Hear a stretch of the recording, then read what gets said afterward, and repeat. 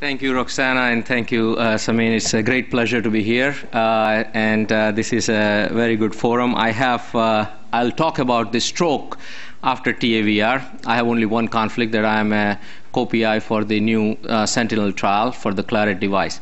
If you look at the uh, initial part of the TAVR, the first editorial that came from Dr. Schaff from Mayo Clinic was to say uh, that uh, there is increased risk of stroke and this is the penalty to pay.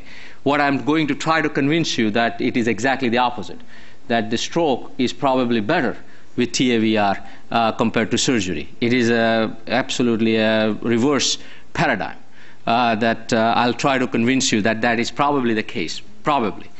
So if you look at the uh, partner trial data, initially we got a 5% uh, stroke rate in the cohort B. Then in the cohort A, the high-risk surgical patients was 3.7%, and then in a continued access registry, it was 3.7%, 2.1% from 6.8 with a transapical. So big de decrease in the transapical, not so big decrease in the transapic, transfemoral.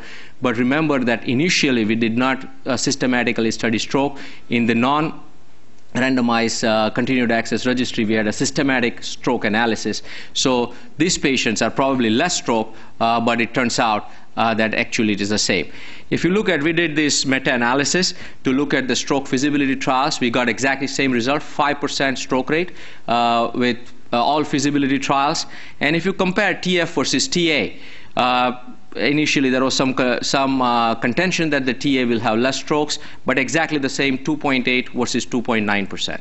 If you look at the 30-day uh, stroke rate with the Edwards SAPIEN valve or uh, with Medtronic valve, exactly the same, 3.1 versus 2.5 percent. And if you look at the single center studies, so these were all major registries I showed you. Now you're looking at single center studies reported. Again, 3.4 versus 3.8 with TF and TA. And if you look at single center registries uh, with uh, Edwards and, uh, and Medtronic valve, it is 3.2 and 3.8%. So very, very similar number, uh, about 3% stroke rate uh, in both of the trials. If you look at the surgery, now what is the deal with the surgery? Is it the surgical stroke risk much less than this, or it is equal, or, or what is the real reality uh, with the surgical stroke rate? So the one comparative study, which initially was the partner trial, unfortunately in the partner trial, uh, there was no neurological assessment that was required because this was before the stroke became a problem. So this was all, unfortunately, a retrospective analysis. We had to go back to each chart and determine if the patient had a stroke or not. So whatever things were available to us, that's how people determined there was no neurologist to assess the stroke uh, on a routine basis. And here, if you look at 4.4% in the uh, TAVR group and 2.6% in the surgical group. And this created this notion that surgery is much better than TAVR in terms of stroke. CoreValve study came out, and CoreValve study had a neurological assessment in each patient, and the neuro neurologist systematically assessed the stroke. And now we came back with this idea 6.2 versus 4.9% stroke. But the 6.2 was in surgery, and 4.9 was in TAVR. So actually, the TAVR stroke rate was a little bit less than surgical stroke rate. So where do we reside? Is the surgical stroke rate 6.2% or is surgical stroke rate 2.4%? Is this a variability in surgeons or is it variability in understanding reporting? Because two studies were very differently conducted. If you look at the surgical literature, it is 4.4% stroke rate that was reported by four major institutions uh, by we know uh, uh, in the high risk patients. However, this is a very good paper, I think worth reading from circulation that was recently published from UPenn, uh, from their two hospitals in UPenn. And 196 patients underwent TAVR, I'm sorry, surgical AVR, and out of these 196 patients, they studied their stroke risk. And if you look at the stroke risk, there was 34 patients who had stroke. 34 patients had symptomatic stroke. Seven, four patients had TIA. So the stroke risk, surgical stroke risk, was 17%. And if you look at this, the postoperative days and, and, uh, and, uh, and the NIH stroke scales, uh, you can see that there are many of them are minor strokes, but it is still 17% stroke rate. If you look at whatever literature you want to look at in surgery, isolated AVR 2.4%, 3.7%, 1.5, 2.7, nobody talks anything more than 10%. And if you look at this one study where the multi-valve procedures were done, they said 9.7. But again, nothing to go to more than 10%. What is the difference? So this is the same same subset of patients. 34 patients. Uh, out of 34 patients, how many patients were reported to uh, STS database. Same, this is UPenn. Uh, 34 patients, only 13 patients were reported to the STS database as having stroke. The rest of the patients, the surgeons did not feel that they had strokes and they were not reported as having strokes. And out of the 13 patients, only nine by neurologists had stroke. So four patients, one had alcohol withdrawal, other three, the neurologist didn't think they had a stroke. So inaccuracy was tremendous. That out of 34 patients, nine are now reported, uh, correctly reported, and four are incorrectly reported. But if you look at the, the stroke rate, it will be obviously very different if you report uh, 13 versus 34 patients out of 196 patients. And there are a lot of asymptomatic and symptomatic uh, patients. Now, if you look at subclinical, subclinical strokes, both TAVR and surgical AVR has very similar volumes, very similar MRIs if you look at systematically uh, their, uh, uh, their brain with MRI lesions. Uh, I want, to, I want to point out to you that the most important timing of stroke is at the time of implantation the, the crossing, uh, you know, all these things really doesn't matter. When you implant the uh, device, that is the most common time of having the stroke. There was a lot of, lot of debate about the fact that, oh, the stroke happens not at the time of the procedure, happens seven days later, four days later, and maybe preventing the emboli prevention device may or may not help. So I want to clarify this part. So there are some strokes that, that we reported and others reported in the partner database from two to seven days.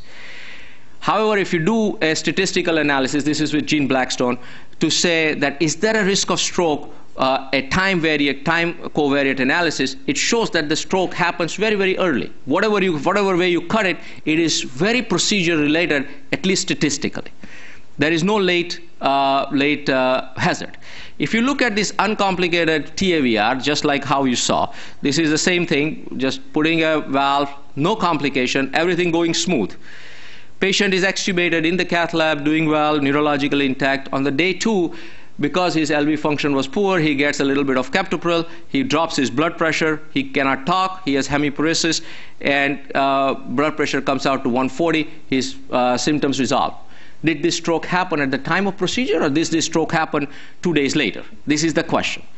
And what we found, we did the uh, uh, CAT scan, we found a calcific embolus at the bifurcation of the middle cerebral artery. This calcific embolus most likely happened at the time of the procedure. However, the blood flow is normal. He was not symptomatic. Drop the blood pressure, or there is a thrombosis of the area that develops symptoms. So the procedural event is, in my mind, extremely critical uh, in this uh, in the stroke uh, stroke business. So where it happened, and so the pharmacotherapy alone is going to help or not is debatable, but it is important to know that maybe keeping them uh, uh, platelet inhibition and not giving them protamine or uh, keeping them some, giving them some anticoagulation for a brief period of time may be worthwhile. What are the risk factors? This is the partner analysis, 49 patients. Very hard to do analysis because there were not that many strokes. That is a good thing. And if you look at the, the registry data, the most important part that is very commonly missed is the part that 10% of the patients have prior strokes. All these patients who are enrolled in the trial, 10% have prior strokes.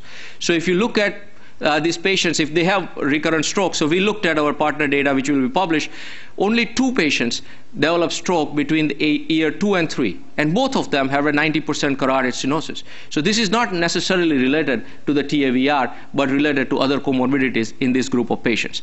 And in our meta-analysis, we have this table to say that what are the factors people found. Most commonly, people found uh, that if they have new onset atrial fibrillation is an important risk factor uh, for later strokes.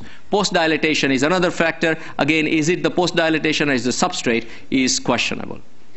In the Canadian experience, they have a very nice uh, univariate and multivariate model of 30 days and one year stroke risk. And the 30 day learning curve, diabetes, balloon post dilatation, atrial fibrillation. And in the late part, chronic atrial fibrillation, PVD, cerebrovascular disease, and anticoagulation at the time of discharge were the most important uh, factors.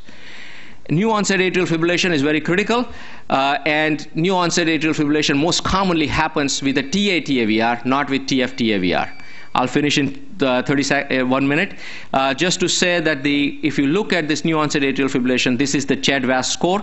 These are the TAVR patients. They have a very very high CHA2DS2-VASc score, and they also have a very high HAS-BLED score. So these are the patients who may benefit uh, from closing the left atrial appendage. Now there are uh, there are two trials. The one trial that is happening in the United States, this is the Claret trial uh, with the Sentinel trial, which is the Claret device. This is going to kick off very soon. Uh, and uh, this, what this will replace is a good patient where we had to put two emboli protection devices and two balloons in the subclavian to prevent this very mobile echo density to dislodge before we put the valve. And how do we have to accomplish this? By putting eight sheaths in four arteries, uh, which we will not have to do because this is a device that can go through a six French radial artery. Uh, so stroke prevention will help to move to the lower risk patients, and it may be advantage rather than disadvantage compared to SAVR. Uh, and that is, uh, again, I'm happy to take any questions.